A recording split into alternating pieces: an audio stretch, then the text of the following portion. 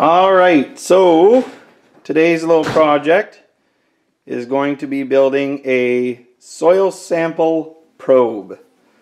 Um, so what it is is when you want to soil test uh, your fields, you take this soil sampler probe and uh, you push it into the ground roughly the same amount of depth that you're going to plow. So let's say 8 inches.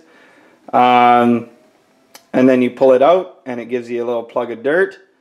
Um, this is 3 quarter inch just black pipe. And so it will give you a 3 quarter inch by 8 inch plug of dirt. And you put it into a bag and you go around your field taking different plugs out in different areas of your field.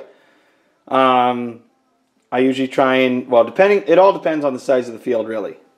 Um, but you want probably around two plugs per acre. So, anyway, we're to get started here. So, this longer piece, I am going to um, sharpen the one end on the outside, making it easier to go into the dirt.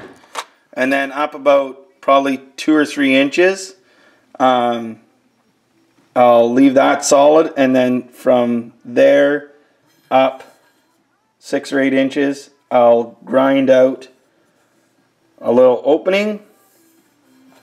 And that's where you'll be able to take the plug out. And then I'm going to weld a little foot uh, a, a, bar out the side here that you can put your foot on to push it into the ground. And then at the top, I'll, uh, I'll grind that out so it'll fit the top piece of pipe for a T. And that's what you'll push down with your hands and be able to pull it out of the ground with. Anyway, so that's what we're doing. So let's get started.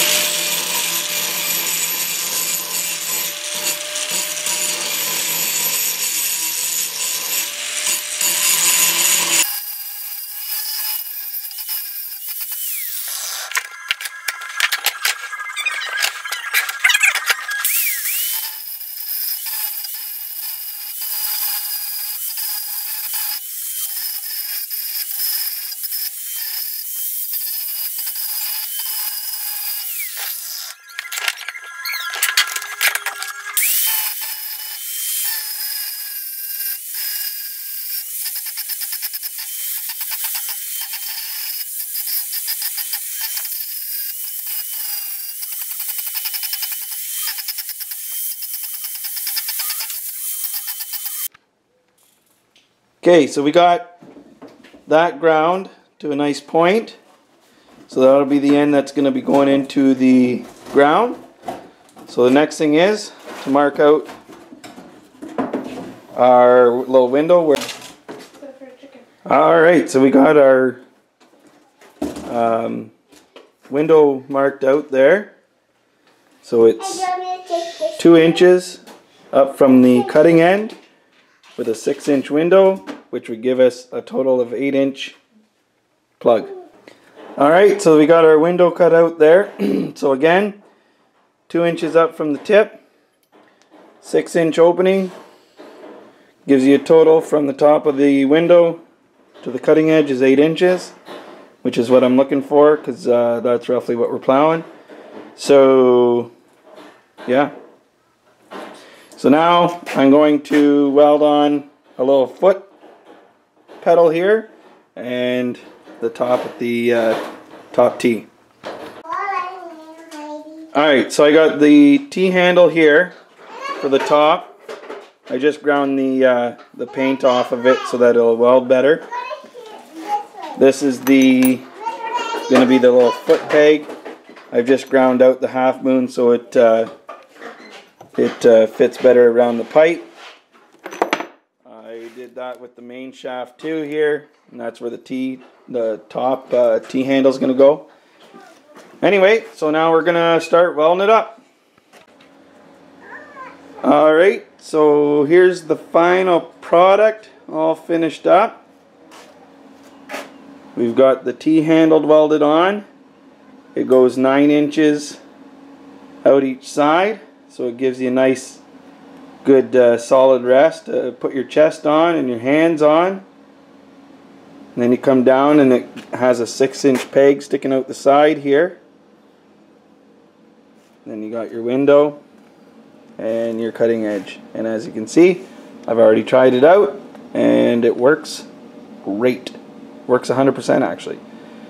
Um, the only thing that I am wondering is if I want to cut out this window just a little bit wider.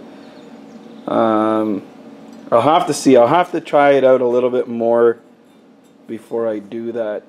Because um, right now, when the plug comes up, um, there's still too much of a curve to the pipe in here that the plug is a little bit hard to get out. I mean, you can definitely get it out easy enough. You just pick it out with your finger. But I think if I shaved off maybe another 16th or an eighth of an inch off that, making this window a little bit wider um, and make it just a little bit easier to get the plug out. The only thing is, is I, I don't want to go too far and weaken it to the point where, you know, it wants to fold up here when you're pushing it into the dirt. Um, so I'm a little hesitant doing that, but um, yeah. So if you're wondering, I've I've cut this opening not quite halfway through the pipe.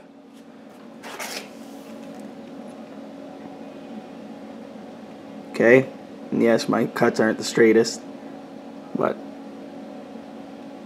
anyway, so, but it works good, and uh, the weld's held up. So again, this is six inches, nine inches out each side, plus you got an inch, so there's uh, 19 inches total for the top T-bar. And let me get a measuring tape.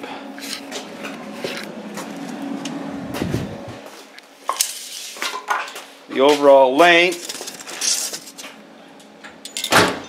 is three feet.